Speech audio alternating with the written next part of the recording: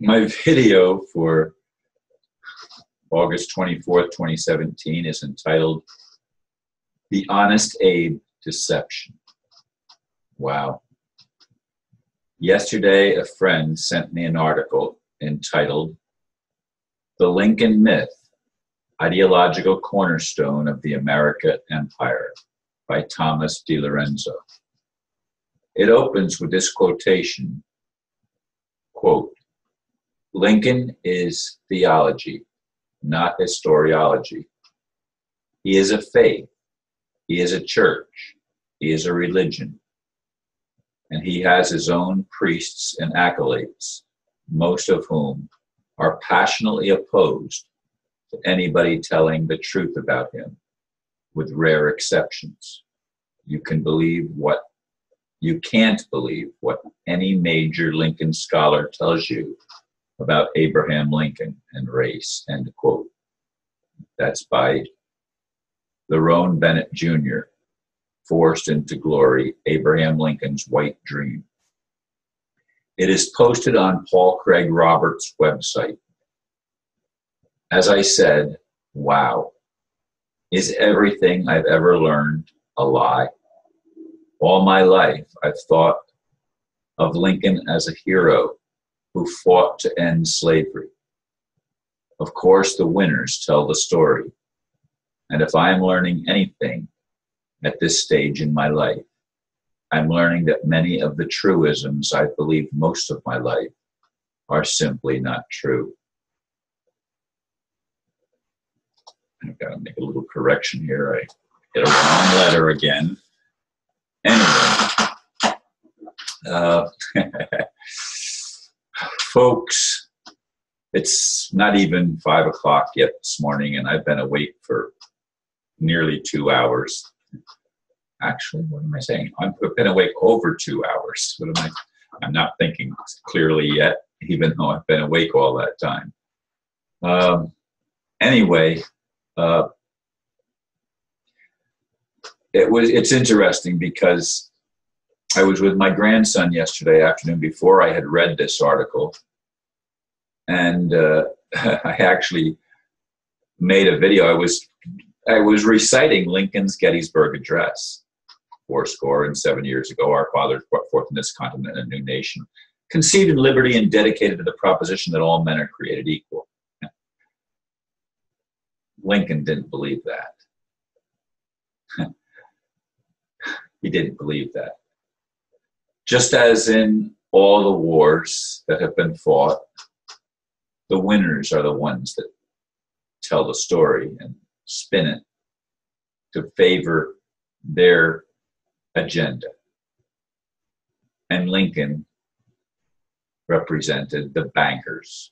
He was the first bar attorney to occupy the White House. As far as I know, there were other, there were lawyers before, but I guess they weren't bar attorneys. Uh, they weren't part of the British accredited registry because America, remember, was trying to become free from European, especially British control. So things were not uh, at the beginning what they became uh, at Lincoln's time and thereafter. I don't know if I, I don't know how many of these, I have a paper here printed that has quotes uh, from the book. And let me just say this I will read some of it. I don't think I'm going to read it all. Uh, Leo, Lerone Bennett Jr who was the author of that quotation that I read in the blurb, was the executive editor of Ebony magazine for several decades, beginning in 1958. He is a distinguished African American author of numerous books, including a biography of Martin Luther King Jr. He spent 20 years researching and writing his book, Forced into Glory Abraham Lincoln's White Dream, from which he drew the above conclusion about the so called Lincoln scholars and how they have lied about Lincoln for generations. For obvious reasons, Mr. Bennett is incensed over how many lies have been told about Lincoln and race. Few Americans have ever been taught the truth about Lincoln and race, but it is all right there in the collected works of Abraham Lincoln and in his reaction and in his actions and behavior throughout his life. For example, he said the following Free them, the slaves, and make them politically and socially our equals? My feelings will not admit of this. We cannot make them equals. I'm not going to read any more of the quotes. There's a there's a number of them, and uh, I'm going to somehow provide the link for this um, so that people that choose can follow it up and see for themselves. But as I said, it, it breaks my heart to learn just one more thing of the lies that I've believed. I've known that it's the winners that tell the story in wars.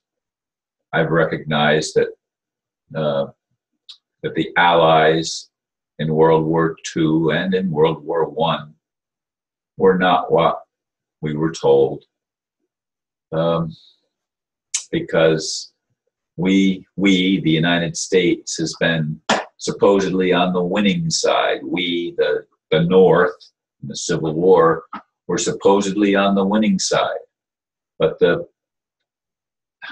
as I look at it now,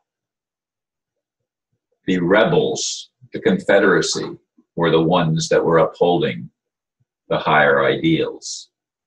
And the lower ideals are always about controlling the money, controlling people, enslaving all of humanity, because that's what money does. It makes us slaves.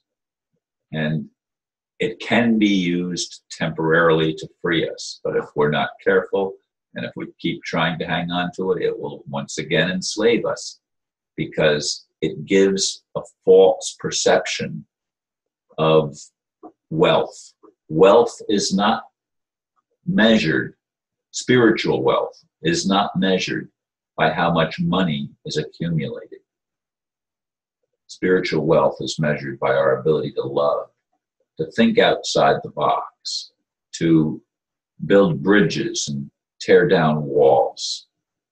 That's the true wealth. That's the true power that I believe we're supposed to have. But we don't have it because we've been lied to and we've bought into the lies. I mean, I can't believe how many of the things I thought were absolute truth are not. I, I have trouble getting my mind around what I read about Lincoln in in this article. And I didn't read the book. I never seen the book. But Paul, uh, I say? Paul Roberts, uh, Paul Craig Roberts. He, he posted it as a guest as a guest article on his on his website. It's something we need to look at, folks. We need to have many of our misconceptions corrected.